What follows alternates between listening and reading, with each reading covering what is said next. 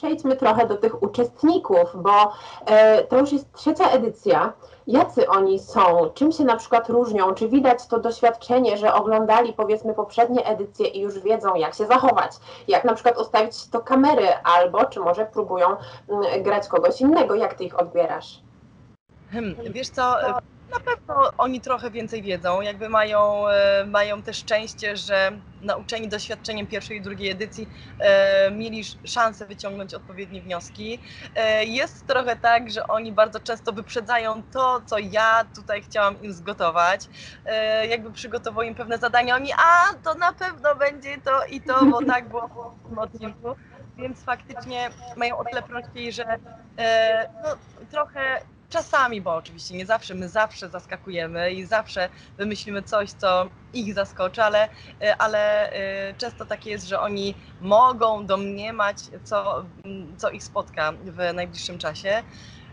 Wiesz co, tak naprawdę to też czas zweryfikuje, czy oni, e, czy oni tutaj grają, czy oni są naturalni, aczkolwiek nie posądzałabym ich o to, dlatego że nasi uczestnicy trzeciej edycji są naprawdę cudowni. Są przede wszystkim tak uśmiechnięci, tak pozytywni e, i szanują się. To jest dla nas niewątpliwie ważne i istotne. Nie ma jakichś takich niepotrzebnych dram e, czy takich toksycznych relacji. E, oni po prostu wszyscy naprawdę się lubią i szanują.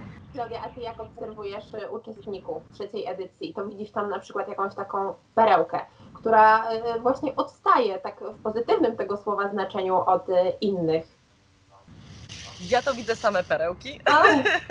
Wiesz co, e, to może trochę tak, wiesz, zabrzmi nie, nieszczerze, ale, e, ale oni są naprawdę świetni. Jakby oni są naprawdę świetni i pewnie jak porozmawiamy, jak już ta trzecia edycja ruszy, to wspomnisz moje słowa, e, że oni są wyjątkowi i ja nie wiem, czy ja powinnam mówić takie rzeczy, czy ja mogę sobie pozwalać na taką stronniczość, ale dla mnie trzecia edycja to jest zdecydowanie moja ulubiona edycja. Um, uczestnicy są zaczynając od e, naj, naj, naj, takiej najbardziej oczywistej rzeczy, oni są piękni, są piękni w obrazku, są piękni, są pozytywni, e, mają obłędny humor, e, no są naprawdę, są świetni. I, I, już y, się tak wiesz, motam się, nie wiem co powiedzieć, dlatego że cokolwiek bym nie powiedziała, to pewnie to zabrzmi tak dobra, dobra, że, że troszkę tak naginam, ale faktycznie tak jest. Ja jestem absolutnie zakochana w trzeciej edycji, w uczestnikach e, trzeciej edycji Hotelu Paradise. Ale tutaj zwróciłaś właśnie uwagę na, na ich urodę i powiem Ci, że nie jesteś pierwszą osobą, bo e, też e, mieliśmy przyjemność rozmawiać z kimś, kto widział uczestników trzeciej edycji i także powiedział, że zostali niesamowicie dobrani, jeśli chodzi o wygląd. A czy taki dobry tak. wygląd Twoim zdaniem daje też taką pewność siebie i ona będzie bardziej odczuwalna niż na przykład pewność siebie niektórych uczestników poprzednich edycji? Taki dobry wygląd. Eee, wiesz co, jakby nie chciałabym oceniać ich pewności, znaczy, hmm, wiesz, czy jest czasami tak, że jak ktoś jest zbyt pewny siebie, to trochę potem, e, wiesz, cwaniakuje, e, potem są jakieś takie niezdrowe rywalizacje albo jakieś takie toksyczne relacje, a tego u nas nie ma.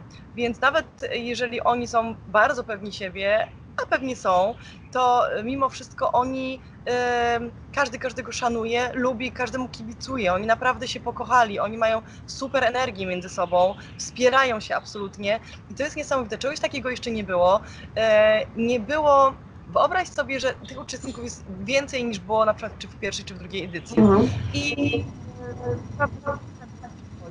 nie było żeby tak, tak nie smuciłaś z powodu e, Oni się tak grają, tak lubią, że mimo tego, że już jest ten moment, kiedy oni eliminują się e, wzajemnie, no bo to jest nieuniknione, to oni to robią po prostu ze łzami w oczach.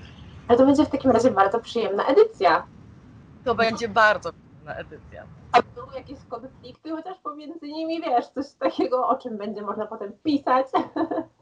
Bo jeszcze raz, przepraszam. Konflikty na przykład pomiędzy no, nimi. oczywiście, że są. Oczywiście, że są konflikty. To też jest nieuniknione w takiej licznej, e, licznej grupie, ale oni to jakoś tak potem e, łagod, e, łagodnie przechodzą z tego konfliktu.